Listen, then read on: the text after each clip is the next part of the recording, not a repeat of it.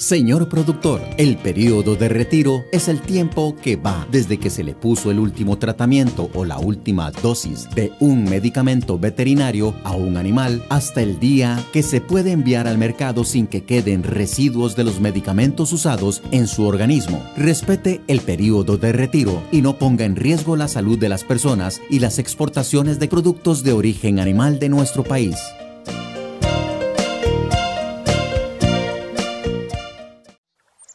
Señor caficultor, para mantenerse siempre bien informado, reciba mensajes WhatsApp de la oficina regional del ICAFE. Envíenos un mensaje al 8420-2589 para incluirle en nuestros contactos y enviarle información relevante y actualizada sobre nuestra caficultura. Un mensaje del Instituto del Café de Costa Rica. Una de las buenas prácticas agrícolas es el triple lavado de los envases vacíos de plaguicidas. Para ello es necesario agregar agua hasta un cuarto del envase vacío. Luego se agita durante 30 segundos y se vierte la mezcla en el equipo de aplicación. Este procedimiento se realiza tres veces.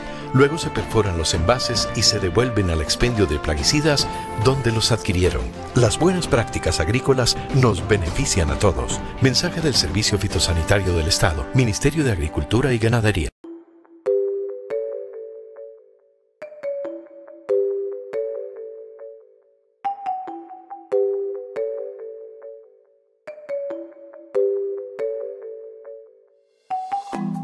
Hola, buenas, mi nombre es Isabel Delgado, eh, tengo 20 años, soy productora de la zona de Santana. Estoy estudiando ingeniería industrial como el de hace unos dos años más o menos. Es una mejora continua, una mayor productividad, una logística, poder llevarle a las personas un producto de calidad y sobre todo una frescura que es muy difícil que un supermercado o algo así lo llegue a, a tener. Incitar a las personas que vayan a la Feria del Agricultor Thank you.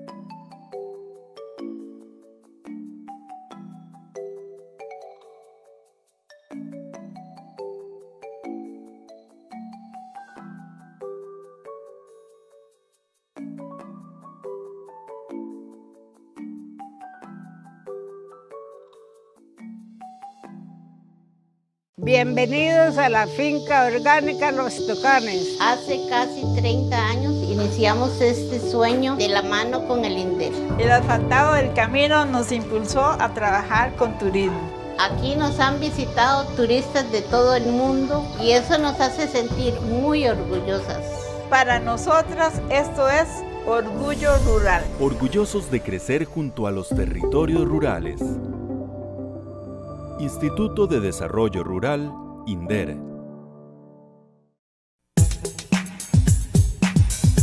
Información, asistencia técnica, capacitación y mucho más del sector agropecuario.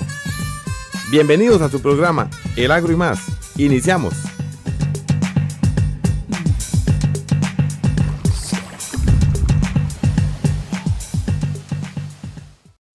Hola, soy Víctor Rivera, funcionario del Ministerio de Agricultura y Ganadería y le doy la más cordial bienvenida a este programa Agro y más, con información y capacitación del sector agropecuario nacional y regional.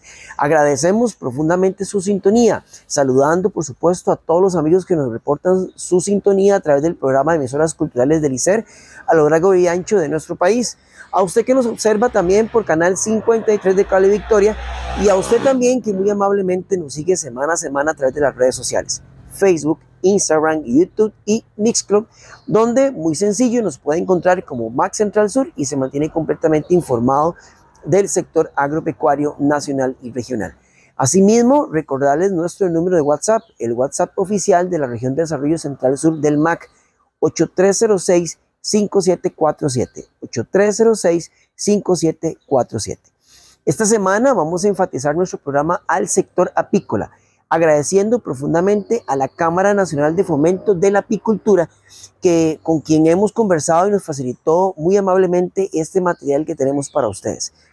Conscientes de la importancia del sector apícola, no solo en el sector productivo, sino también en el sector comercial, vamos a desarrollar el tema del reglamento técnico de miel de abeja y sus incumplimientos más frecuentes.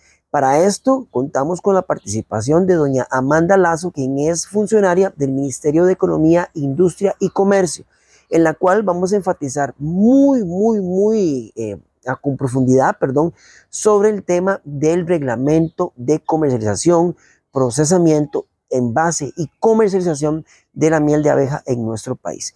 Preste mucha atención a la información que les traemos esta semana en su programa agropecuario.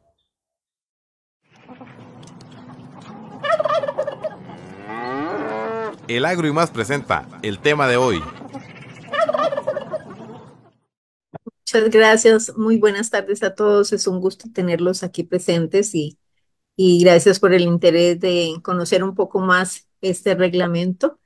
Efectivamente, eh, eh, la negociación de este reglamento duró, eh, fue bastante compleja, dada unas características que establece la ley y, por eso al final de la presentación vamos a ver que, justamente este reglamento tiene una, un carácter de verificación diferente a los otros reglamentos.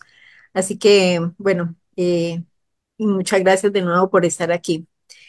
Este reglamento está identificado como el RTCR 500 del 2020 y se denomina miel de abeja. El reglamento contiene eh, lo que es la parte del contexto general de la miel de abeja y vamos a hablar un poco también de cómo nosotros realizamos el proceso de verificación y cumplimiento de este reglamento. En primera instancia es necesario eh, conocer la jerarquía de la legislación nacional en primera instancia, eh, se establece lo que dice la constitución política, luego se sustentan reglamentos técnicos eh, centroamericanos o nacionales, que los centroamericanos eh, se desglosa de un tratado internacional, luego van las leyes nacionales, los reglamentos técnicos nacionales y los decretos ejecutivos. Todo eso está sustentado en el artículo 6 de la Ley General de la Administración Pública el cual establece dicha jerarquía. Cuando hablamos de un reglamento técnico es importante eh, analizar por qué o saber por qué eh, se establecen los reglamentos técnicos y por qué es importante cumplir con la regulación nacional. Cuando tenemos un reglamento técnico o trabajamos bajo el sustento de un reglamento técnico, fomentamos la confianza del consumidor, que al final se traduce en una mayor demanda y preferencia por los productos que, que cumplen con este reglamento. Eh, tenemos eficiencia operativa en nuestros procesos porque impulsa a la industria a mejorar sus procesos, eh, optimizar los recursos y adoptar tecnologías que le permitan ser más eficientes y sostenibles a largo tiempo.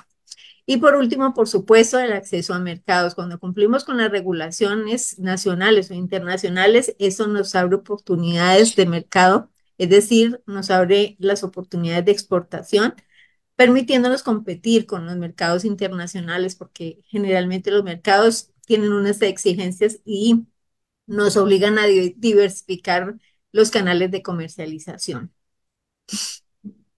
Reglamento técnico, este de miel o cualquier reglamento técnico establece las características de un producto o de los procesos en los cuales se elabora este producto. Incluye métodos de producción, incluye disposiciones administrativas eh, y también puede incluir prescripciones en materia de terminología, de símbolos, embalaje, marcado y etiquetado, procesos o métodos de producción exclusivamente de esos productos. Hay un aspecto importante que es que los reglamentos técnicos son establecidos por el gobierno y son de aplicación eh, obligatoria. Es decir, cuando mi producto, cualquier producto que yo vaya a comercializar en el mercado, que vaya a importar o que vaya a, eh, comercializar a nivel nacional, es de carácter obligatorio. Eso quiere decir que eso es alguno de los aspectos que eh, no consideramos cuando se establece un reglamento técnico y creemos que los reglamentos técnicos son solamente para proteger el producto nacional y no es así. Un reglamento técnico aplica para el producto importado y aplica para el producto de producción nacional. No hablo del de exportación porque va a depender mucho de la regulación del socio comercial. Entonces, si hablamos de que es un reglamento técnico centroamericano, eso implica que las especificaciones y las exigencias de este reglamento son para todo Centroamérica, es decir, que aplican los mismos parámetros, las mismas características. Entonces, ahí no hay eh, diferencias en la aplicación de este reglamento técnico y entonces en ese caso aplicaría para el importado, para el nacional o para el que vamos a exportar a cualquiera de nuestros hermanos de Centroamérica. Pero si ya se sale de este tratado de centroamericano, pues entonces tenemos que cumplir con la regulación de nuestro socio comercial, que en algunos casos puede ser diferente al nuestro.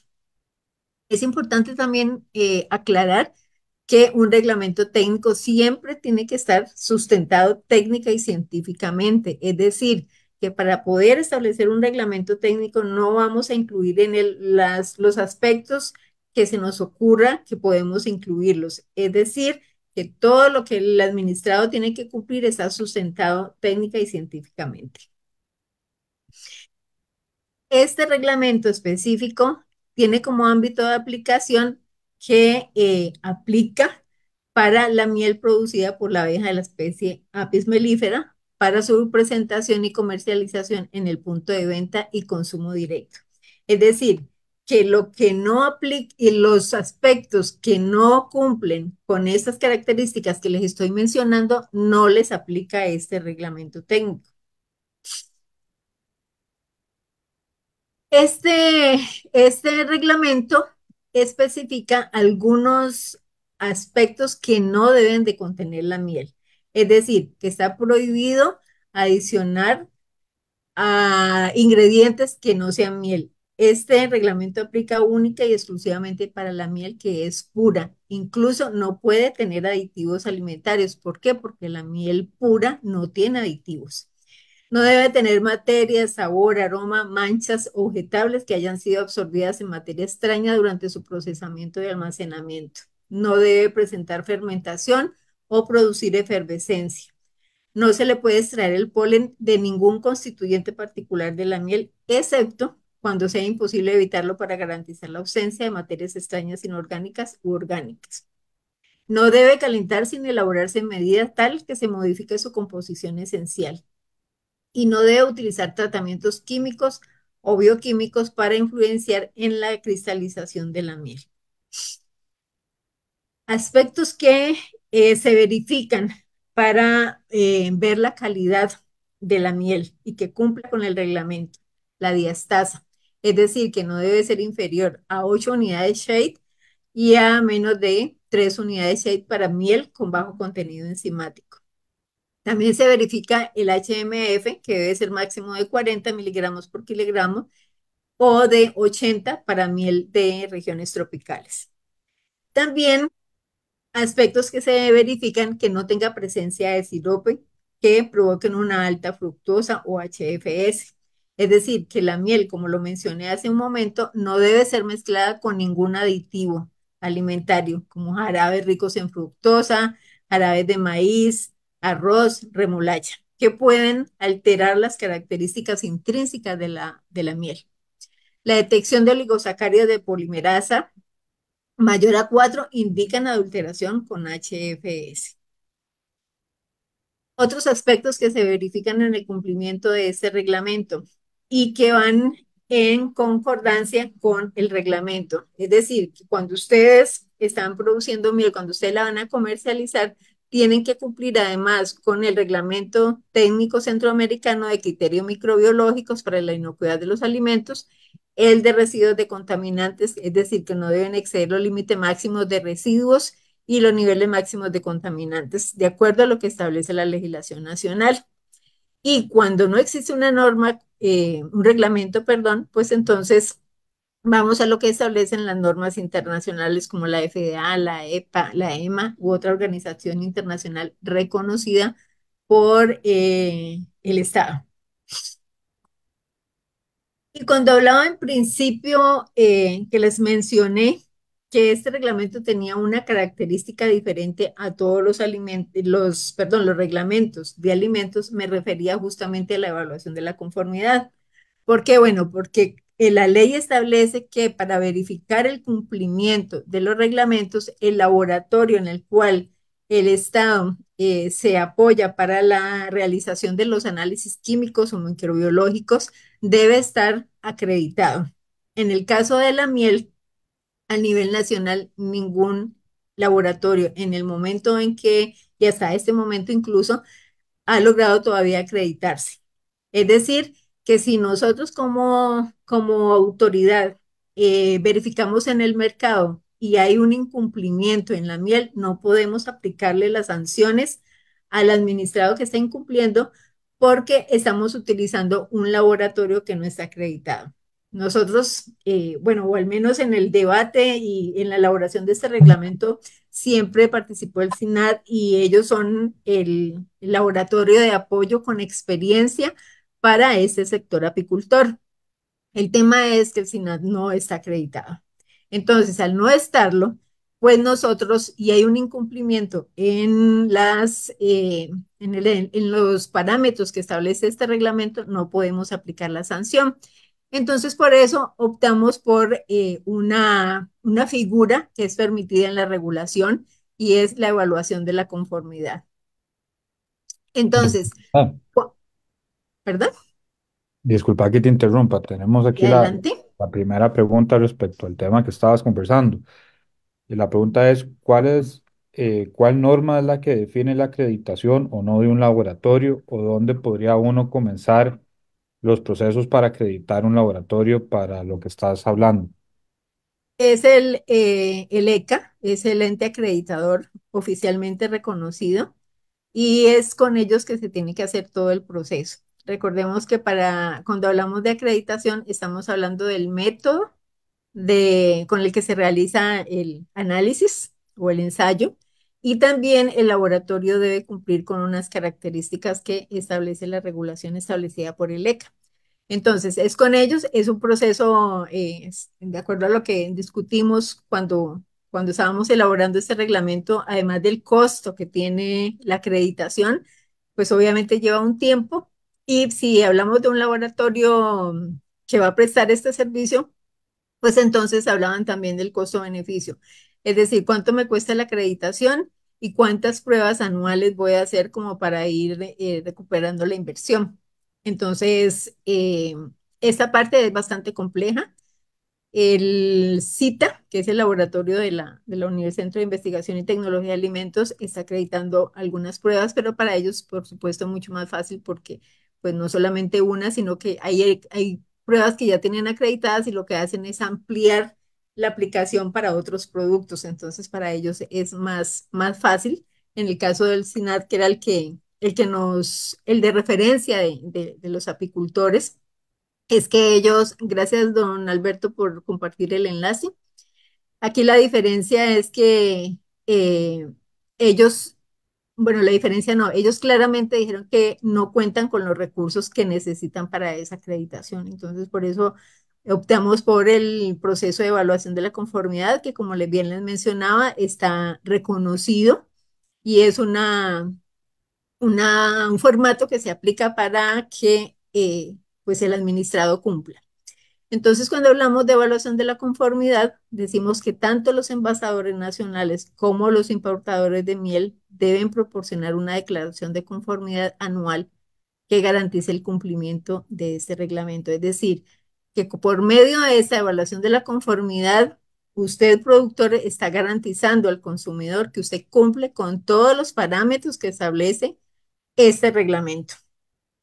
Eso sí, es importante también que eh, tomen en cuenta que esa evaluación de la conformidad aplica única y exclusivamente para las, los aspectos que son de verificación del Ministerio de Economía, Industria y Comercio, como lo es el marcado del etiquetado, el, apartado 7.2, que es la calidad, y el 10, que es método de muestreo y análisis.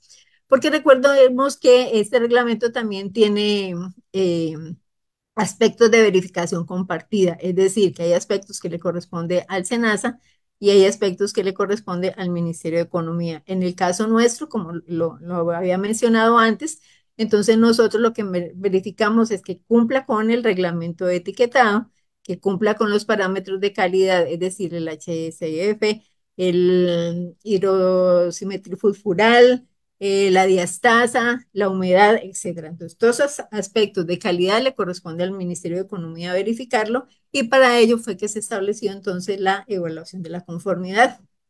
Repito, debido a que no tenemos un laboratorio acreditado y que no podemos, en caso de, incumplimiento, aplicar la ley, lo que entonces se le solicita al administrado, en ese caso a ustedes como, como comerciantes de la miel, una evaluación de la conformidad. El agro y más. Ya regresamos. Yo empecé este negocio con una máquina de coser y muchas ganas de surgir. Con mucho trabajo y de la mano del INDER hoy estoy viendo los frutos. El INDER me entregó una máquina de bordar y ese era el impulso que necesitaba para crecer. Hoy generamos trabajo para cinco personas y esto nos hace sentir muy orgullosos. Para mí, esto es orgullo rural. Orgullosos de crecer junto a los territorios rurales. Instituto de Desarrollo Rural, INDER. Cuando profesionales en medicina veterinaria supervisan la salud de su mascota, previenen que su animal se enferme, manteniendo un ambiente sano y menor riesgo de que transmita enfermedades a su familia. Una mascota saludable tiene el carnet de vacunas y desparasitación al día. Además, recibe atención médico-veterinaria cuando lo necesita. Mascotas, ambiente y personas estamos relacionados. Por eso nos cuidamos como una sola salud. Un mensaje del Gobierno de la República, MINAE, SENASA y el Colegio de Médicos Veterinarios de Costa Rica. Señor caficultor, el manejo integrado de plagas y enfermedades responde a problemas de pesticidas en la protección del cafetal. Son controles mecánicos, químicos, biológicos, genéticos y culturales que implementados anticipadamente permiten mantener malezas, insectos y o enfermedades en niveles bajos. Prepare bien los suelos, haga buenas prácticas de siembra, seleccione la variedad más resistente y productiva, fertilice oportunamente, controle malezas en el momento adecuado y aplique con la mejor cobertura fungicidas o insecticidas. Estas buenas prácticas reducen daños económicos y ambientales. Información adicional en la oficina regional del ICAFE. El HLB o dragón amarillo es una enfermedad que ataca los cultivos de cítricos pero no se transmite a los humanos. En los cítricos produce principalmente la muerte de los árboles, la reducción en la producción y defectos en los frutos. De no controlarse perderíamos en el corto plazo nuestras plantaciones y su producción. ¿Qué podemos hacer? Use plantas de viveros registrados ante el Servicio Fitosanitario del Estado. Esté atento a los síntomas de la enfermedad en su cultivo. Reporte plantaciones abandonadas. Y revise también los árboles en su jardín o traspatio.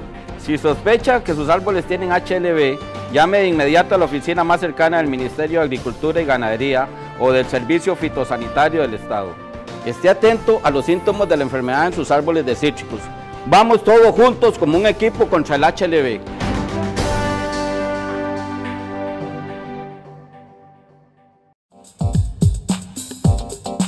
Continuamos, el agro y más.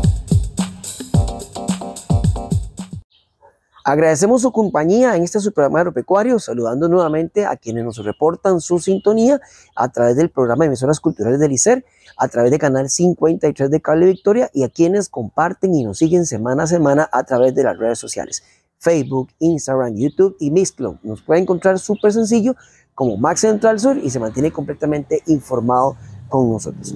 Continuamos desarrollando este importante tema sobre el reglamento técnico de miel de abeja y sus implicaciones comerciales. En este segundo segmento vamos a enfatizar en cómo poder comprobar esa conformidad, o sea, ese cumplimiento de mi producción primaria de miel o de mi envasado de miel en el comercio como tal. Presten mucha atención a este importante tema gracias a doña Amanda Lazo del Ministerio de Economía, Industria y Comercio. El agro y más Y esta evaluación de la conformidad, ¿cómo la demuestro? Bueno, el envasador y el importador deben elaborar y mantener en sus archivos una declaración de conformidad de primera parte con vigencia de un año. Y su renovación debe cumplir con las condiciones establecidas en este mismo reglamento. Entonces, básicamente, si usted necesita saber cuáles son las condiciones, los parámetros que debo cumplir, entonces voy y reviso el reglamento, voy al laboratorio y el laboratorio me tiene que dar el certificado de que cumplo con todo esto. El declarante debe utilizar esa declaración de cumplimiento de primera parte de acuerdo con lo establecido en la norma ISO 1750 que está en el anexo A de este mismo reglamento. ¿Y qué dice ese anexo? Bueno, es un cuadrito, es un cuadrito eh, pequeño, que básicamente lo que dice es eh, formulario de declaración de conformidad y que eh, declaro el número del lote, la dirección, el objeto, quien emite el laboratorio, la dirección, etc. Entonces, básicamente en el reglamento, en el anexo A, está el cuadrito donde está lo que debe decir esa declaración de conformidad. Y la declaración debe estar amparada en los resultados de ensayo de un lote emitido por el laboratorio designado por el declarante. Entonces, importante aquí, el Ministerio de Economía no le dice al administrado qué laboratorio puede utilizar. ¿Y por qué, y por qué eh, optamos por esta opción? Bueno, porque la mayor parte de ustedes eh, los que estuvieron en la redacción de este reglamento siguen y confían 100% en los resultados del SINAT. Entonces, ustedes pueden decidir o llevarlo a algún otro laboratorio o a llevarlo al SINAT o llevarlo al CITA, el laboratorio que ustedes elijan y llevan un lote de producción y el laboratorio les analiza de acuerdo a lo que establece este reglamento y les da un, un certificado que el lote que se analizó cumple con estas características. Ese lote tiene una duración de un año, debe estar siempre disponible para las autoridades. Ese informe, el que le da el laboratorio, debe incluir, entre otras características, algunas de las más importantes que les traje aquí, que es en, el, en el documento debe decir informe de ensayo, ese debe ser el título debe contener el nombre, la dirección del laboratorio y el lugar donde se realizan los ensayos. Debe tener una única numeración clara, es decir, que no puede tener varias, que hoy utilizo la 10 y que mañana utilizo la 150. Es única porque esa es la que está sustentando de que usted está declarando que su producto cumple. El nombre y la dirección del cliente, físico o jurídico, que solicita el ensayo y su dirección exacta la identificación del método de ensayo utilizado.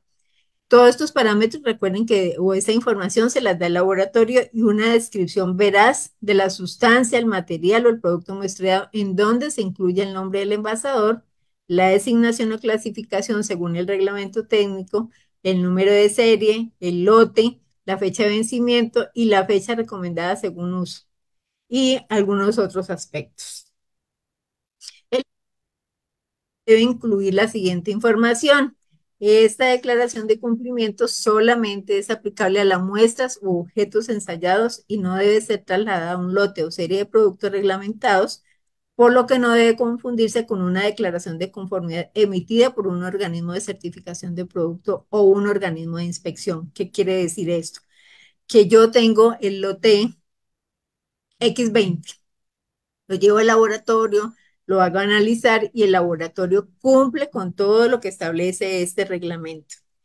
Esa, ese informe que me da el laboratorio es el que va a certificar que la miel que yo produzco, no solamente la X20, sino la cantidad de lotes de miel que salen en el año, en el año cumplen con todos los parámetros que establece este reglamento.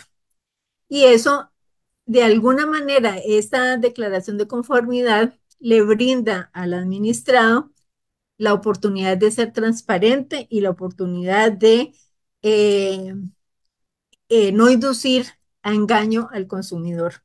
Es decir, queda bajo la responsabilidad del administrado que si quiere al año hacer dos o tres o cuatro declaraciones de conformidad para garantizar que yo llevo al laboratorio la muestra X20, pero voy en la X150 y que sigue siendo la misma miel. ¿Por qué? Porque eso, supongamos que ustedes son un envasador y que el productor es otro. Entonces, puede ser, es solamente un, un ejemplo, que el productor esté adulterando la leche y se, perdón, la, la miel y se la venda a ustedes como miel pura. Y ustedes como envasadores la están dando al consumidor como miel pura. Entonces, tienen una declaración de conformidad para demostrarle al Estado que ustedes están cumpliendo, pero también me garantizo y me cubro yo como eh, estoy demostrándole también a mis consumidores, a mis clientes, que la miel que les estoy vendiendo cumple 100% durante todo el año y no solamente ese lote. Pero a efecto de, eh, de una verificación, simplemente le vamos a pedir la declaración que tenga vigencia de un año. Usted pudo haberla hecho hace un mes o la pudo haber hecho hace 11 meses y esa es la que le va a servir a usted. Ahora, si cuando ustedes presentan la declaración, se les hace el muestreo y resulta que la miel sale adulterada, pues entonces ya ahí es donde viene la contraparte. O ustedes no sabían que la miel estaba adulterada y viene de su proveedor, o usted como envasador la está adulterando. Entonces ahí viene eh, la responsabilidad que usted como envasador y como la persona que al final de la cadena está presentando el producto final al administrador. Hay un traslado obligatorio de esta declaración. Eso quiere decir que debe proporcionar y trasladar, debe ser proporcionada y trasladada por el del declarante al distribuidor comercializador para fines de verificación. Significa que si yo soy el productor de la miel, yo tengo esa declaración de la conformidad y se la proporciono a quien va a envasarla o, a quien va a distribuirla. Es una cadena. Es decir, que desde la primera parte de la cadena yo le estoy garantizando a usted que mi miel cumple con todas las características, características del reglamento, es decir, que es una miel pura. Esta declaración de cumplimiento debe mantenerse vigente durante eh, en todo momento para que cuando las autoridades nacionales competentes la soliciten durante el proceso de verificación en el mercado, eh, no sean sancionados por incumplimiento al reglamento. Entonces, si ustedes no tienen esa declaración de cumplimiento en el momento en que las autoridades llegan a hacer la verificación, pues entonces tendrán que, eh, pues obviamente, asumir las sanciones que corresponden. Bien, ¿es permitido copiar la declaración de cumplimiento en otros documentos? Sí, claro que sí. Yo puedo pasar esa información. Si la empresa tiene una declaración, eh, puede ser a un código QR en las instrucciones que vienen en el producto o en la página web del fabricante, importador, vendedor, etcétera. Yo puedo hacerlo. ¿Por qué? Porque no estoy alterando la información, estoy brindando una información que es efectiva y es verídica. Y es importante tomar en consideración que el incumplimiento de cualquier normativa del producto invalidará la declaración de conformidad de comprobarse tal situación y aplicarán sanciones administrativas contenidas en la ley 7472. Es permitido trasladar la información a un código QR, al catálogo, a las facturas. Esa, esa declaración de, cumplimiento se la puede dejar pública. Eh, por eso el reglamento ni siquiera establece si es digital o es o es física, porque por ejemplo en un catálogo es como una foto de, de la declaración. Si está en la página web, es digital, entonces el reglamento no especifica. Lo importante es que sea la información verídica y que se tenga en el momento en que eh, las autoridades o, o, los inspectores lleguen a hacer la verificación. Y como les mencionaba, en caso de no contar con esa declaración, pues entonces ahí es donde se está corriendo el riesgo de eh, aplicar sanciones administrativas. Ahora viene la otra parte del reglamento, es la parte de etiquetado general de alimentos preenvasados. Si recuerdan, hace un momento les dije que el reglamento, para aplicar el reglamento debíamos de aplicar criterios microbiológicos, debíamos de verificar los límites máximos de residuos de plaguicidas, contaminantes, lo que establece la regulación. En el mismo sentido, también tenemos que verificar que nuestro, nuestra miel envasada, porque estamos hablando de la miel que ya está en el envase, debe cumplir con el reglamento 67010710, que es el etiquetado general de los alimentos preenvasados. Y esto es un, un reglamento centroamericano. Cuando hablamos de RTCA significa centroamericano. Este reglamento establece dos principios muy importantes y es que la información que se presente en la etiqueta de los productos no puede ser falsa, equívoca o engañosa, o susceptible de crear en, el consumidor eh, la impresión errónea respecto a la naturaleza en ningún aspecto, es decir, que se le haga creer que este producto es miel cuando no lo es. Y tiene un segundo principio que también es muy importante, que es que no se pueden emplear palabras, ilustraciones u otras representaciones gráficas que refieran o sugieran directa o indirectamente a cualquier otro producto con el, con el que se trate. Es decir, no sé, un ejemplo, yo le pongo la miel, las abejas a un, a un envase que tiene otro producto que entre sus ingredientes puede tener miel, por supuesto, pero no es miel pura. Entonces, esos productos están protegidos, es decir, yo no puedo utilizar imágenes que visualmente induzcan al consumidor a pensar que el producto es un producto que no es. El, alimento eh, o, eh, la definición debe cumplir con lo que es el nombre del alimento, que debe indicar la verdadera naturaleza, ser específico y no genérico. Cuando hablamos específico es que yo digo que mi producto es miel de abeja. Y cuando es genérico, yo, puedo, yo digo que mi producto es un alimento. Pero es un alimento de qué? ¿Qué tipo de alimento? Eso es lo, a eso se refiere cuando decimos que es genérico. Entonces, siempre en el nombre del producto se debe reflejar la verdadera naturaleza, ser específico, que el, que el consumidor vea el producto y que con una sola mirada sepa qué tipo de producto está frente eh, en la góndola. El agro y más. Ya regresamos. La calibración de equipos y del personal de aplicación, unida a una buena cobertura del follaje en épocas oportunas, permite el control exitoso de plagas o enfermedades, reduce las aplicaciones y la contaminación y aumenta la rentabilidad de su cafetal. Lave tres veces los envases vacíos de plaguicidas, perfore el fondo, guárdelos en bolsas transparentes y llévelos a los centros de acopio en su región. Información adicional con los técnicos de la Regional del ICAFE.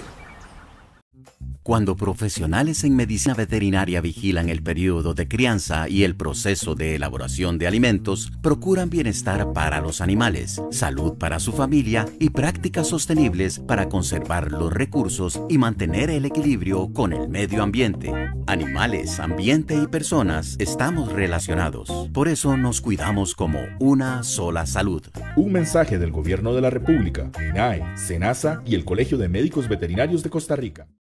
Señor productor, cumplir con los límites máximos de residuos de plaguicidas es una buena práctica agrícola. Con el fin de proteger la salud de los consumidores, el Servicio Fitosanitario del Estado realiza muestreos y análisis de residuos de los plaguicidas de los vegetales que se producen en el país y de los que se importan. Las buenas prácticas agrícolas nos benefician a todos. Mensaje del Servicio Fitosanitario del Estado, Ministerio de Agricultura y Ganadería. Nosotros somos una familia productora de fresa en Barranca de Heredia. Los días que cosechamos entramos a las 3 de la mañana a trabajar. El INDER nos dio el terreno donde estamos y nos dio créditos para salir adelante. Gracias a este apoyo hoy le damos trabajo a 7 personas. Estamos muy orgullosos de lo que hemos alcanzado, de vivir honradamente y generar trabajo a más personas. Para mí esto es orgullo rural. Orgullosos de crecer junto a los territorios rurales. Instituto de Desarrollo Rural INDER. Continuamos, el agro y más. Gracias por estar con nosotros. Este es su programa agropecuario. Gracias por acompañarnos, por estar en la comunidad de su hogar. Quizás si usted viene en carretera o se ha sacado un tiempo libre para capacitarse, informarse con nosotros. Gracias por haber estar siempre fieles a la sintonía de este su programa agropecuario. En este tercer segmento de nuestro programa, que lo hemos enfatizado al tema de la producción apícola, este es un tema muy práctico, así que preste mucha atención. Vamos a enfatizar ahora en este tercer y último segmento en todo lo que son ejemplos del correcto etiquetado, ya sea si usted es productor de miel 100% natural, o si es que hace mezclas, o si es que hace jarabes, o si es que hace cualquier otro tipo de producto a base de la miel. Así que preste mucha atención a estos ejemplos de etiquetado para que usted pues no incurra en errores a la hora de comercializar su producto en el mercado nacional.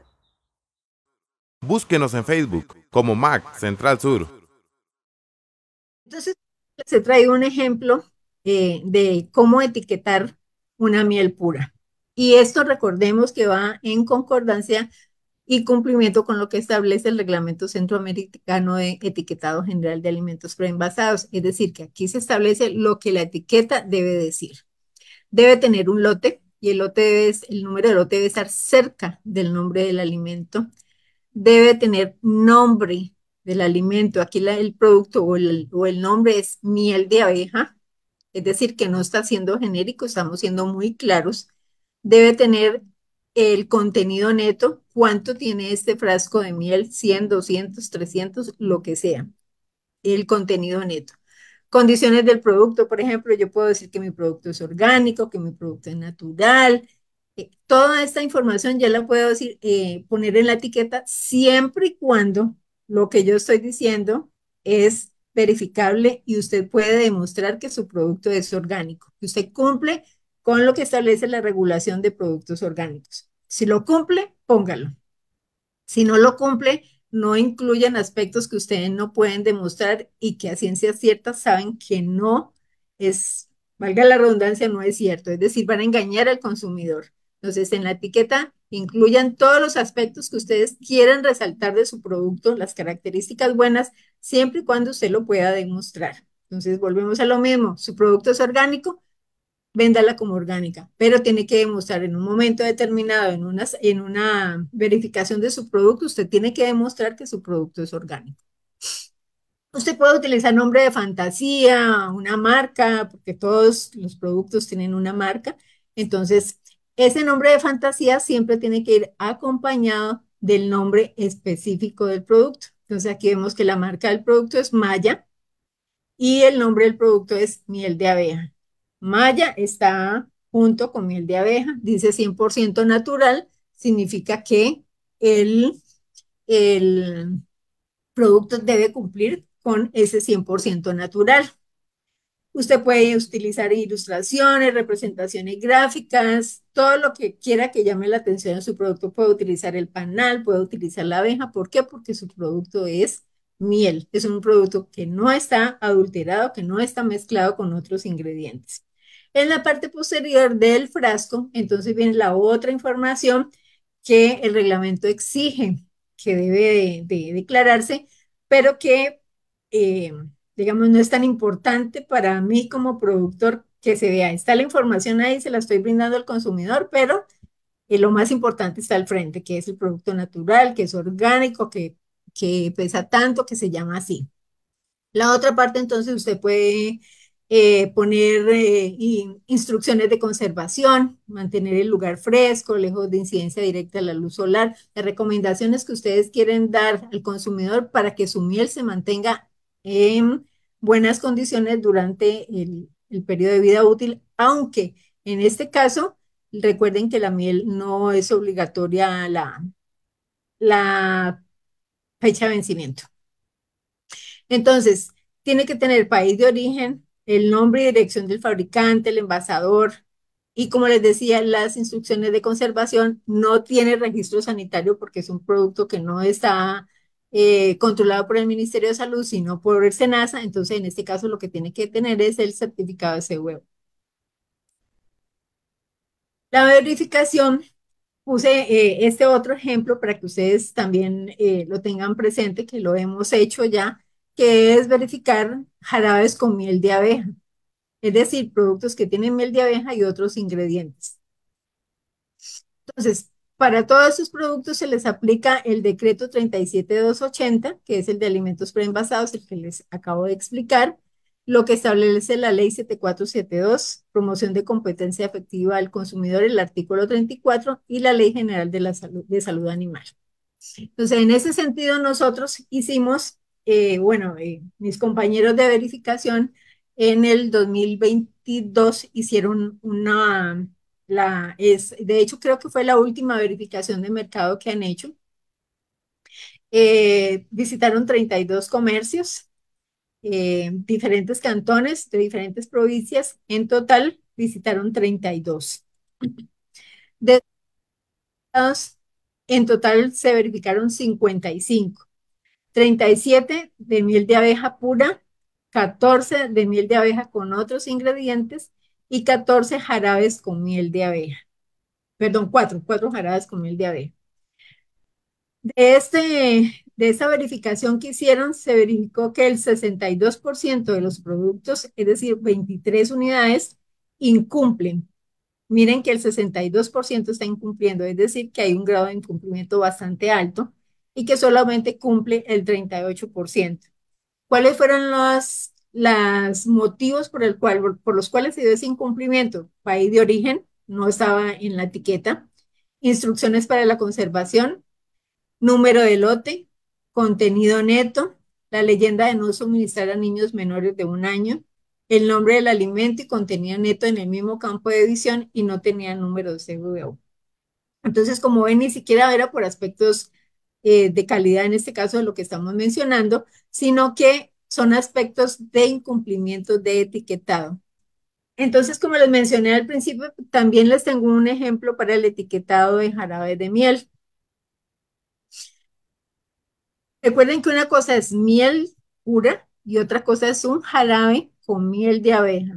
Eso quiere decir que el producto no se puede eh, etiquetar como miel de abeja. Tiene que tener los mismos requisitos de la miel de abeja. Pero ¿cuál es la diferencia? ¿Cómo voy a denominar mi producto? Y entonces ahí entran los dos principios de etiquetado. El producto no puede inducir engaño al consumidor y no puede tener en la etiqueta eh, ilustraciones que haga pensar al consumidor o que lo haga dudar de su decisión de compra porque yo lo estoy induciendo a algo que no es correcto. Entonces, igual que el producto anterior, tiene que tener la identificación del lote, el nombre del alimento, que debe ser específico y no genérico, debe tener el contenido neto. Este producto sí debe tener fecha de vencimiento, porque recuerden que este producto no estaría cubierto por el reglamento de miel de abeja.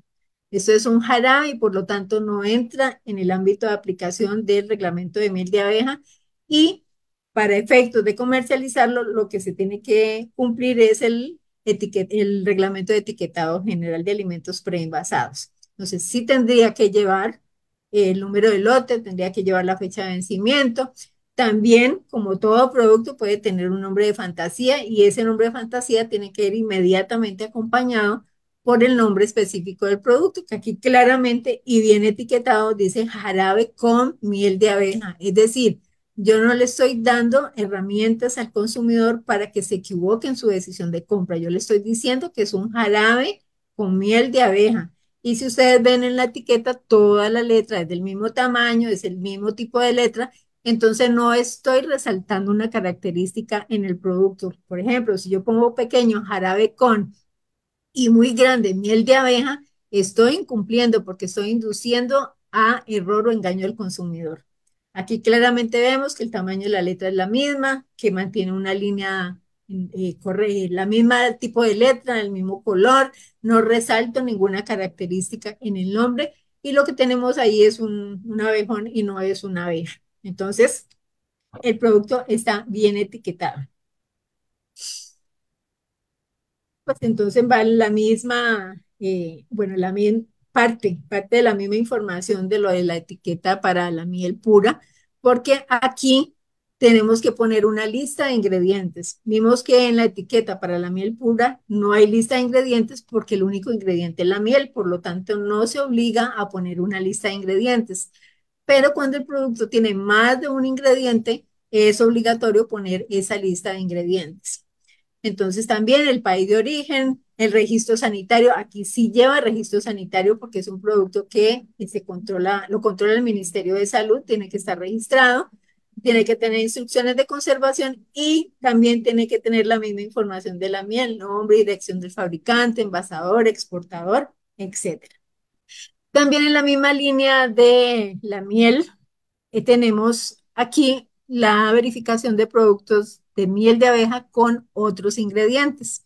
Y vimos que en los aspectos de etiquetado también incumplieron. El 71% de, de las muestras, es decir, 10 productos cumplen y el 29% de las muestras, es decir, 4 productos incumplen.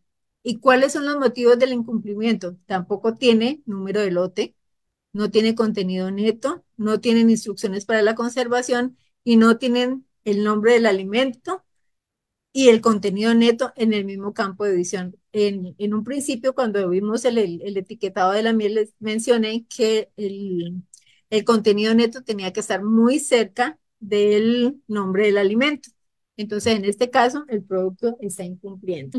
Entonces, de esos productos eh, jarabes con miel de abeja, eh, vemos que cuatro productos incumplieron de ese 100% muestreado y que 0% eh, cumplen. Algunos de los principales incumplimientos, eh, otra vez en etiquetado general, principios generales de la etiqueta, es decir, con el nombre del alimento, contenido neto, la dirección, el país de origen.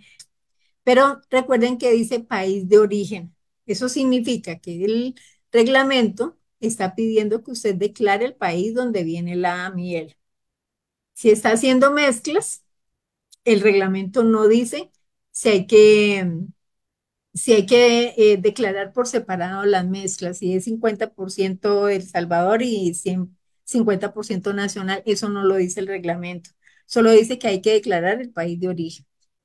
Mis compañeros, como les mencioné hace un rato, realizaron un análisis de calidad y pureza de la miel de abeja y como lo vimos hace un, hace un momento, pues los métodos de análisis que se realizan para, para verificar o identificar la calidad y pureza de la presencia de sacarosa, la diastasa, el HMF, eh, ácido, ácido libre, humedad, se, detecta también HFS y la presencia de azúcares simples. Entonces, en ese sentido, nosotros como Ministerio de Economía no hemos podido eh, detectar o, hacer análisis de HFS justamente porque, eh, pues por la problemática primero económica que tenemos y segunda porque, eh, pues por el tema de los, de los, eh, las muestras o los análisis acreditados. Entonces, tenemos unas acciones de seguimiento. En ese caso, SENASA realiza de forma, toma muestras de miel pura en, puntos alejados del gran área metropolitana. Eh, una vez que se cuente con el laboratorio acreditado por ECA, se realizará el muestreo estadístico. Como les comenté, el CITA está en el proceso de acreditación y por eso aún no lo hemos hecho, porque, no tenemos ese proceso de acreditación. El SINAT eh, realiza pruebas de calidad de HFS a mieles de abeja puras recolectadas y se comunicará al fabricante, envasador, distribuidor sobre las correcciones que deberían realizarse respecto a los resultados de los análisis de, calidad. Ese es el plan de seguimiento que tenemos en este momento. Eh, como les mencionaba, el último muestreo que se hizo fue en el 2022 y como ustedes vieron, se encontraron incumplimientos muy enfocados en, en el área de etiquetado y no en calidad, justamente porque por lo que les, les acabo de mencionar, el tema de, acreditación. Entonces, eso es un proceso que, que, los compañeros de verificación, no sé en el plan de trabajo para cuándo tienen el proceso de verificación, si está para el próximo año, porque ya el reglamento, como ustedes saben, está vigente, pero eh, pues, obviamente es un proceso que en algún momento se empezará con el muestreo en el mercado. Don Alfredo levantó la mano. Eh, sí, muchas gracias, doña Amanda. Casualmente era sobre esto último que nos puso en, una reunión que tuvimos con el ministro y con, creo que es su, superiora, pero es que ahorita no recuerdo el, nombre La Luisa Díaz. ella. Doña directora. Luisa, correcto. La directora, sí. Este, nos mencionó que eh, por parte del Ministerio eh, de Economía, eh, se estaba buscando la forma de, de que el mismo fuera, eh, tuviera la, la, potestad de recoger muestras más allá de la GAM. Eh, no sé, y ahora veo que ustedes nos pone allí que prácticamente estarían coparticipando o pidiendo la participación de SENASA como usualmente lo ha hecho. Entonces quisiera que eso nos quedara claro a nosotros como como productores y, transformadores de, producción primaria para saber, este, vamos a ver, eh, yo que soy de la, de la periferia, eh, eh, eventualmente recibo una notificación de una miel mía que está en, y voy a poner un ejemplo, en la zona de San Carlos, y recibo un comunicado por parte del MAKE. Hasta lo que estoy viendo allí, no debería ser quien me envíe a mí el comunicado, debiera ser Senasa. O sea, lo que quiero es, eh, vamos, eh, en otras palabras, eh, es muy común que ahora se nos trate de enviar mensaje, entre comillas, de oficiales de algún ministerio y resulta que es alguien tratando de embaucarnos o generar una, una polémica en donde nos perjudica a nosotros y alguien reciba un beneficio económico porque nos cobre algo que no era legal, por ejemplo?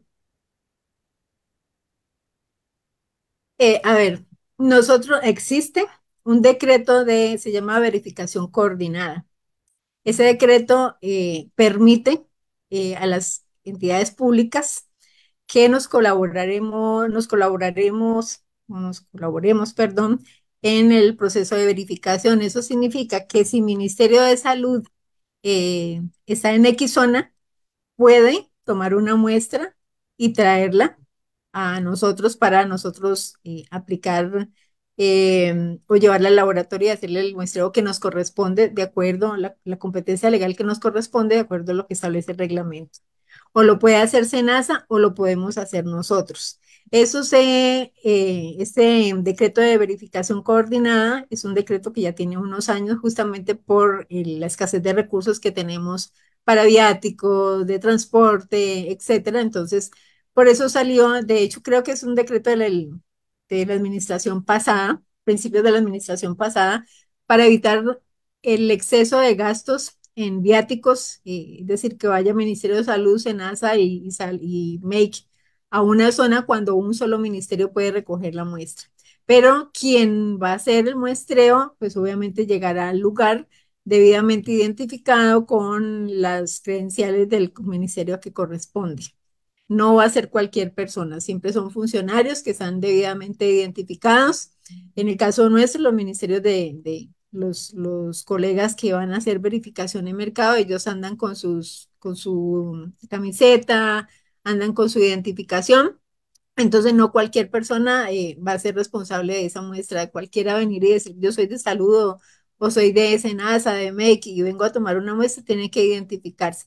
Pero sí tenemos un decreto que nos permite justamente para como colaboración interna eh, de hacer un muestreo y traer eh, esos productos al ministerio que corresponde para que ellos a su vez lo lleven a las respectivas muestras de acuerdo a la competencia que les corresponde en el reglamento. Hemos llegado al final de este programa agropecuario, de verdad que agradeciendo profundamente su sintonía y sobre todo el desarrollo de este importante tema para usted, señor apicultor, y por supuesto también para usted, señor consumidor. Es importante que usted tenga muy claro que tiene que venir en etiqueta y que al usted agarrar, agarrar un envase de miel, pues sepa distinguir pues cada uno de los conceptos que vienen en esa etiqueta y cómo realmente determinar si está consumiendo miel 100% pura o si está consumiendo pues alguna mezcla o algún jarabe de este producto tan importante para el consumo nacional. Nos hemos enfatizado en este, este día no solo en temas de productividad, sino también un tema muy importante como lo es la comercialización de la miel en nuestro país.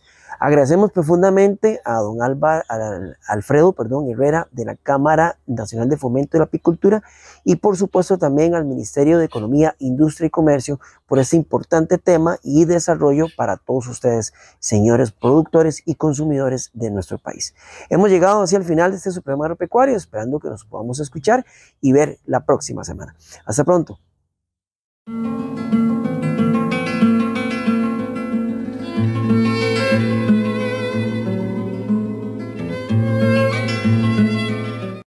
Las buenas prácticas agrícolas contribuyen a que el productor obtenga mejores rendimientos y sea más competitivo en un mundo que exige productos inocuos, libres de plagas y de buena calidad.